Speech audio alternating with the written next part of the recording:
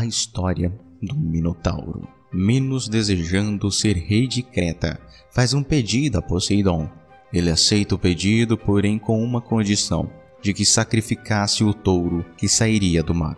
Minos, certo de que Poseidon não notaria diferença entre os touros, acabou por sacrificar um outro animal. Isso porque no momento que ele observou o touro branco, o rei resolveu não matá-lo, pois ficou admirado e encantado com sua beleza.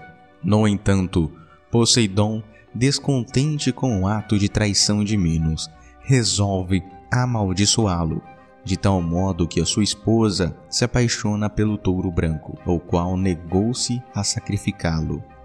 Pacífae apaixona-se pelo touro e dessa bizarra união entre sua esposa e o touro branco nasce uma criatura bizarra e feroz, o Minotauro. Menos preocupado com as consequências que trairia seu povo e sua cidade, essa criatura resolve construir um labirinto.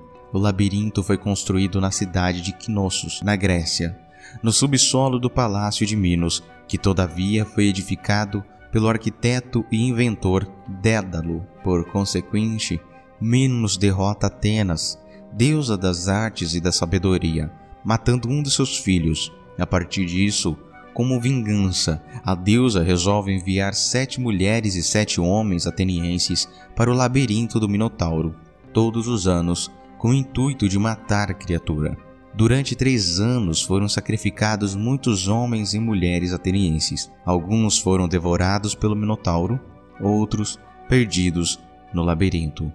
Assim Teseu, considerado um dos maiores heróis gregos, filho do rei Egeu, decide ir a Creta enfrentar o Minotauro. Contudo, ao chegar, apaixona-se por Ariadne, filha do rei Minos, que lhe concede um novelo de lã e uma espada mágica a fim de enfrentar a criatura. Teseu enfrenta o Minotauro e acaba por vencer a luta. Assim ele consegue sair do labirinto devido ao fio de lã dada por sua amada e deixado durante o percurso para marcar a saída.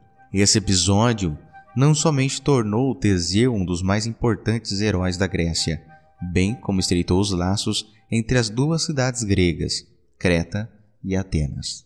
Meus amigos, se vocês gostaram dessa história, por favor, deixe o seu like e não esqueça de compartilhar esse vídeo com os seus amigos. Eu espero vê-los no nosso próximo vídeo. Fiquem com Deus e até lá. Tchau, tchau.